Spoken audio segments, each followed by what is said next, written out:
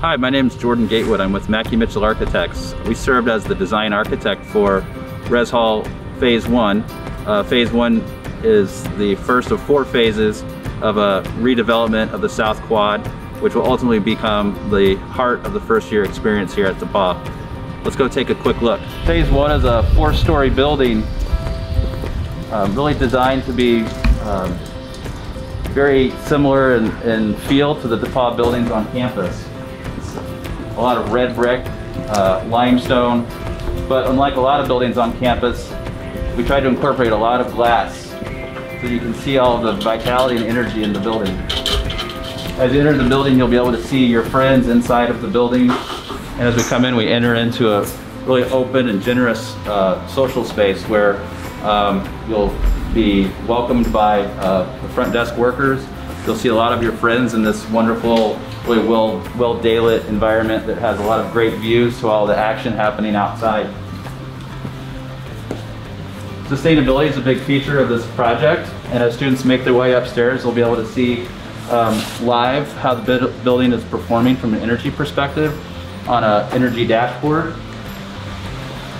One of the things we wanted to create in this project is a really open stair that's very welcoming that really invites students to come up, use the stair, not use the elevator, really um, interact with each other. Uh, it really promotes a, a sense of well-being within the building. One feature that I love about this stair is that each level it provides a really unique view of campus as you get higher and ascend up through the building, giving you views of uh, buildings like East College and its roof uh, forms. Each floor will lead up to a floor lounge, which is basically the heart of each floor. The floors are broken into two wings. Each wing is an RA community of about 24 students. We've provided a lot of uh, different sizes and types of lounge spaces and furnishing types to really provide students a lot of choice and variety in how they interact in spaces. So let's take a quick look through one of the typical RA communities. Each RA community, uh, there's two per floor.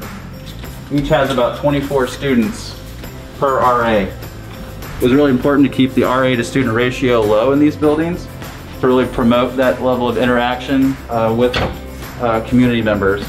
Um, as you saw, I swiped in um, coming in. So each community is accessed um, in a very secure manner. So if you're part of this community, you have a swipe card that allows you into the living area. So each um, RA community has 24 students, um, but those are divided into pods or clusters of 12 students. Those 12 students will share a set of uh, community bath fixtures. It's not the community bathroom that you imagine uh, from years ago. Uh, it's more of a club style community bathroom that has um, compartmentalized features. Uh, so water closets and uh, showers are all behind private doors.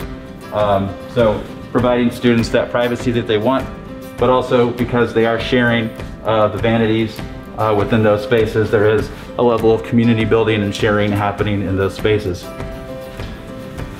Each cluster of 12 uh, meets here in what is basically um, the community living room. Um, each of these living rooms um, throughout the building are appointed in a little bit of a different uh, fashion. Um, each floor has its own color scheme um, and each lounge actually has its own kind of furniture grouping so over time we anticipate um, a lot of different activities happening in these spaces and throughout the day students can kind of modulate um, how much activity they want in these. They're really spaces that this whole floor can kind of own for themselves and it really becomes a, a community feature for these 24 students to really uh, bond um, by having this uh, shared amenity.